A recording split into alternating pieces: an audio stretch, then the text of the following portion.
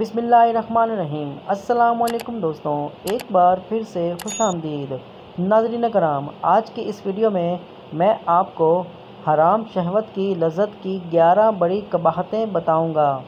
Number एक, शहवत की लज़त जानी और माली तकलीफ़ का सबब बन सकती है। नंबर दो, शहवत की लज़त किसी भी सज़ा का सबब बन सकती है।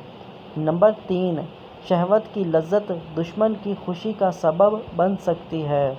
नंबर चार, शहवत की लज्जत से माल ज़ाया होगा कि जिसकी बका जवाल से बेहतर है।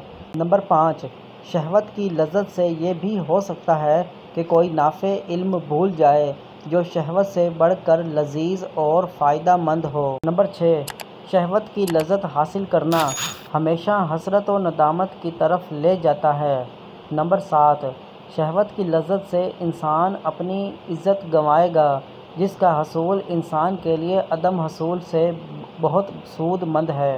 नंबर आठ, शहवत की लज्जत से इंसान अपनी कोई नेमत छिनवाएगा, जिसका बका शहवत रानी से ज़्यादा लजीज़ व पाकिज़ा है। नंबर नौ, शहवत की लज्जत पूरी करने से किसी जलील इंसान को तुम्हारी इज़्ज़त पर हाथ डालने का मौका हाथ आएगा। जो उसको उससे कबल हासिल नहीं था। नंबर दस, शहवत की लज्जत से इंसान अपनी नज़रों से गिर जाता है, फिर अपने आप से भी शर्मिंदा शर्मिंदा रहता है।